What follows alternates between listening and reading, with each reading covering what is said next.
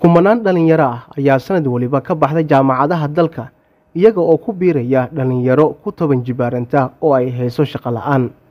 Arrintan ayaa lagu micneeyey in ardaydaasi aysan lahayn wax xirfad ah oo ay ku shaqaystaan sababo la xiriira iyaga oo aanan soo marin fasallo lagu barto xirfadaha qofka u sahlaya inuu shaqaysto. Arrimahan iyo arrimo kale oo la xiriira ayaa waxaa lagu gorfeeyey shirweynaha waxbarashada qaranka oo galay maalinkii labaad. Shirkan ayaa waxaa ka soo qayb galay wasiiro ka tirsan xukuumadda federaalk ee soomaaliya. Wasiiro horey u soo qabtay wasaaradda waxbarashada bahda waxbarashada iyo marti sharaf kale. Waxaa jiray fadhiyo looga doodayey caqabadaha waxbarashada iyo horumarinteeda sida maamulidda waxbarashada waddan ka soo kabanaya colaado iyo sidii waxbarashada ay u noqon lahayd ajanda qaran. Wasiirka shaqada iyo arrimaha bulshada xukuumadda federaalk ee soomaaliya ayaa sheegay in baaritaan ay ku sameeyeen shaqaalaha dowladda ay ku ogaadeen inuusan jirin shaqaale uu cad yahay booska shaqada uu kaga jiro islamarkaana ayba ka maqan yihiin wasaaradaha dowladda shaqaale xambaarsan takhasusaadka loo baahan yahay. Waxyaalaha cajiibka waxaa ka mid ah shaqaalaha marka aanu hadda ritiga ku sameynaynay hal qof oo shaqaale dowlado u shaqeeyo marka laga yimaado madaxda sarsare oo t o r lima jiro.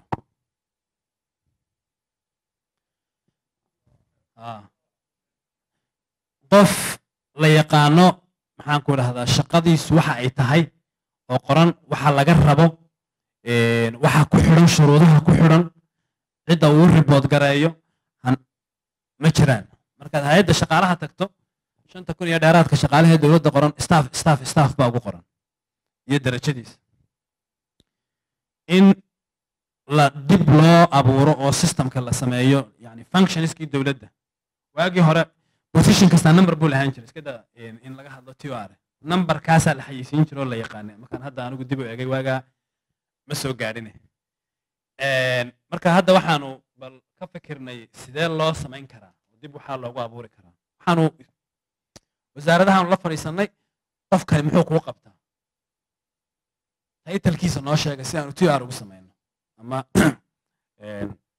shaqadiisa aan u qeexno qofkani maaliyaddu noo hayaa kani maamulku noo hayaa dhowr iyo konton shaqo oo joogto ah oo hay'adaha dowladda oo dhan ku soo noqnoqda baa ka soo baxay.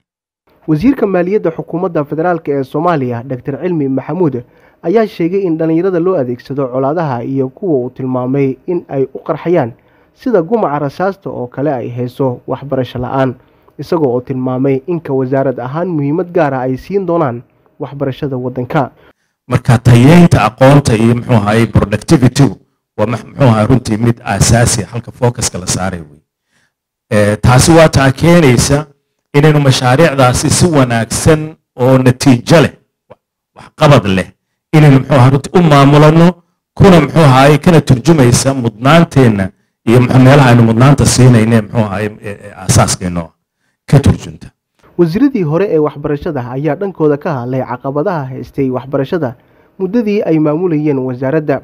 Wasiirka waxbarashada xukuumadda federaalk ee soomaaliya faarax sheekh cabdulqaadir oo ka hadleeyey sida ajando qaran ay ku noqon karto waxbarashada ayaa sheegay in loo baahan yahay in qof waliba maanka iyo afkaba uu ku hayo sida loo horumarin karo loona tayan karo waxbarashada waddanka. In isbeddelka u yimaado waxbarashada inaan ka dhigno sheeko qaran inaan ka dhigno. Dadka isu yimaado ama masaajid ama maqaayad ama meel kale isugu yimaado intiinaan iyo in la mid a haddii ay arkaan bal maanta markaan halkan ka baxno. Dee maanta shiraa jire qiyaasta ma aha mugta laakiin haddaad jumcadii joogtay hotel jaziira oo aad boqol qof salaanto oo meel aad baa u sheekaysanaa fadhikudirran ku magacawnaa soo ma oo sheekadaas imisaa waxbarasho ku jirta sheekadaas ajandaheenna qaran ee waxbarashada wuxuu ku xirnaan doonaa inta ay sheekadeenna qaran iyo dowdeenna qaran ee waxbarashada ka soo gasho. Shirweynaha waxbarashada qaran ayaa shalay magaalada muqdisho waxaa ka daafuray madaxweynaha jamhuuriyadda federaalk ee soomaaliya iyada oo lagu wado inuu socdo muddo shan maalin ah waxaana gebagabada shirkan laga soo saari doonaa qoraal ku aadan waxyaabaha ka soo baxa doodaha iyo aragtiyada dadka ka qaybgalaya oo ka kala yimid dalka dibaddiisa iyo gudihiisa. Zakariya axmed muuse t v-ga shabeelle muqdisho